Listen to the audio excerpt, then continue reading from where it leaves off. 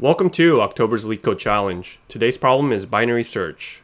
Given a sorted integer array nums and a target value, write a function to search target in nums. If target exists, return its index. Otherwise, return negative 1.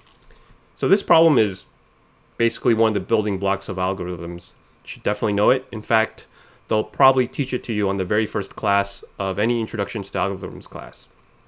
So the basic idea is since our list is sorted, what we're going to do is search the middle index first. Check to see if that equals the target. If it does, we just return that uh, index number. If the number on that index number, however, is greater than our target, then we know we want to move to the left side and check everything on the left side. So we'll check in the middle of our left side instead and continue the algorithm. Uh, otherwise, if the number here is less than our target, then we're going to move to our right side and then continue the algorithm.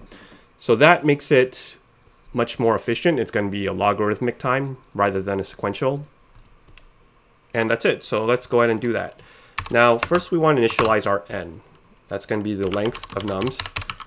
And usually with these sort of problems, you have two pointers. You have the left pointer and the right pointer. Left pointer is going to point to the very left, and right pointer is going to point to the very right of the index, or the list. So that's n minus 1.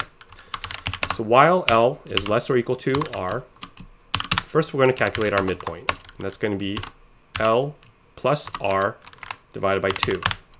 Now we want to first check to see if our nums at this midpoint is equal to our target. Because if it is, then we can just return the midpoint, and that's the index number. Otherwise, let's check to see if our number is less than our target. Because if it's less than our target, we want to check check on the right side of this index or this list. So what we'll do is make our left pointer equal to mid plus one. And the reason we add plus one is so that we, since we already know middle, the mid index is not right, we can just go ahead and ignore that and do mid plus one. Otherwise, this number here is going to be greater than our target, so we want to move our right pointer to the mid minus one, and that way we'll check the left side of this list.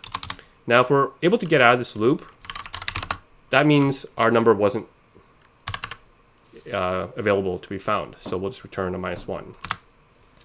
And that's it. This is definitely an algorithm you should know. Uh, let's go ahead and submit that. I'm pretty confident it'll work. And there we go.